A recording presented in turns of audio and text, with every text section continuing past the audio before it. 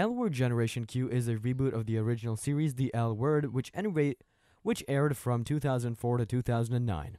This new series picks up after a decade and follows a new generation of characters living and loving in Los Angeles.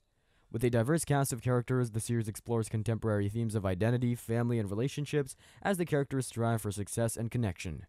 As the characters confront issues of sexuality, gender, race, class, and privilege, the series offers an honest and intimate look at what it means to be a modern queer person. With the return of some favorite characters and the addition of some new faces, the series offers a unique and compelling take on the lives and loves of the modern queer community. Now, we will discuss the L Word Generation Q Season 4, its plot expectations, and updates regarding release dates, so what are you waiting for? Join us to glimpse future storylines and theories of this web show. What are you waiting for? Subscribe and remember to press the bell icon. Without any delay, let's get started. So, what are the release dates? At this time, there is no confirmed release date for Season 4, but we can expect it to be released next year. Future storyline The upcoming fourth season is expected to be an exciting continuation of the show's original run. The show will continue to explore the lives of the original cast characters living in Los Angeles, as well as the lives of their children and grandchildren. Fans can, ex- fans can expect to see the characters navigating the complexities of relationships, careers, and everyday life.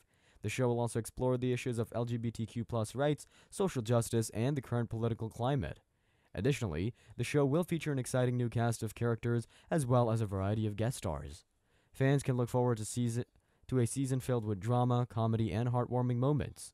This season will also bring more queer representation to television and highlight the importance of intersectional feminism. Fan theories.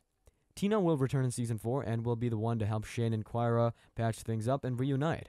Alice will open up her LGBTQ plus youth center and will be a mentor to the new generation of queer women. Dani and Sophie's relationship will hit a rocky patch, but they'll find their way back to each other.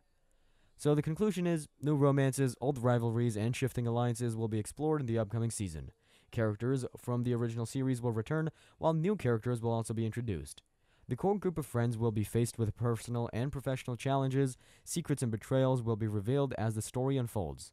So guys, thanks again for watching, see you in the next video. Please like, share, and subscribe. Until next time, stay tuned.